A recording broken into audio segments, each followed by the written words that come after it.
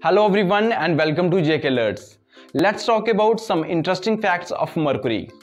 So let's get started.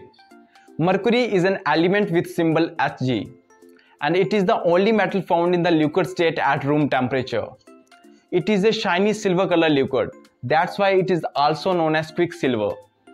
Have you ever wondered why mercury acquires spherical shape when you put on your hand or on table? This is due to the high surface tension of mercury.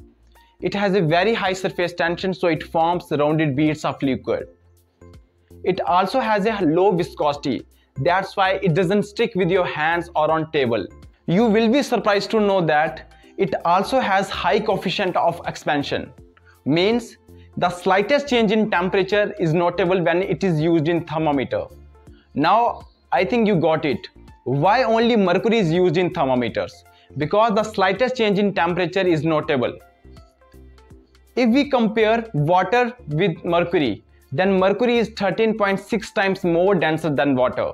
Now you have to tell me the name of a ore of mercury.